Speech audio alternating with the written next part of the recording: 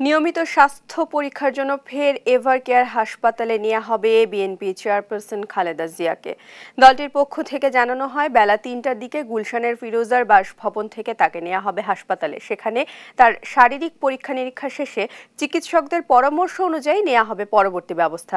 এদিকে বিএনপির মহাসচিব অভিযোগ করেন, বিদেশে নিয়ে উন্নত চিকিৎসার দরকার হলেও সরকারের অনুমতি না থাকায় দেশেই খালেদা জিয়ার চিকিৎসা করা হচ্ছে। এর আগে এ বছরের সাতাশ ফেব্রুয়ারি নিয়মিত স্বাস্থ্য পরীক্ষার জন্য হাসপাতালে গিয়েছিলেন খালেদা জিয়া। তার চিকিৎসা দরকার, বাইরে দরকার। যেহেতু সরকার সেটা দিচ্ছে না, সেই কারণে দেশেই আমরা সেই চিকিৎসার ব্যবস্থা করা হচ্ছে। ইনশাআল্লাহ আপনারা সবাই দোয়া করবেন। জনগণের কাছে আমরা দোয়া চাই যে তিনি যেন সুস্থ